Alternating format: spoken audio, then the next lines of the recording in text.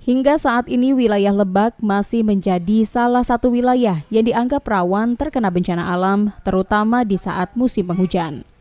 Selain banjir, jumlah daerah juga masih dianggap rawan terkena longsor hingga banjir bandang. Mengantisipasi kemungkinan datangnya bencana, pemerintah Kabupaten Lebak pun menggelar apel kesiapsiagaan personil memasuki musim penghujan. Apel siaga bencana ini diikuti oleh sejumlah personil dari BPBD, TNI, Polri, Satpol PP, Dishub, relawan PMI, Tagana, dan beberapa relawan kemanusiaan lainnya. Tidak hanya personil, pemerintah Kabupaten Lebak juga menyiapkan berbagai peralatan penunjang yang akan digunakan bila terjadi bencana alam di wilayah Kabupaten Lebak, mulai dari alat pemotong, mobil operasional yang sesuai dengan medan saat terjadinya bencana, hingga alat-alat berat lainnya.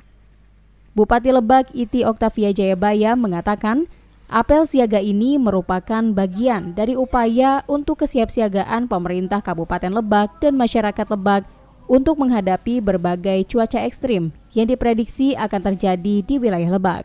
Kan ada BPBD dan juga ada shelter yang di apa di Wanasalam ya wilayah selatan dan juga beberapa posko-posko yang lain yang kita gunakan di antaranya ya di Polsek, apa koramil dan juga kecamatan juga kita siapkan termasuk juga kita mensosialisasikan ke desa untuk membuat posko-posko di tingkat desa.